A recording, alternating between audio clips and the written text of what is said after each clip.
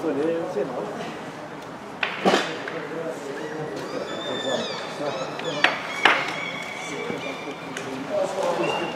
Det er noe deres, eller? Ikke da. Unnskyld. Er det deres?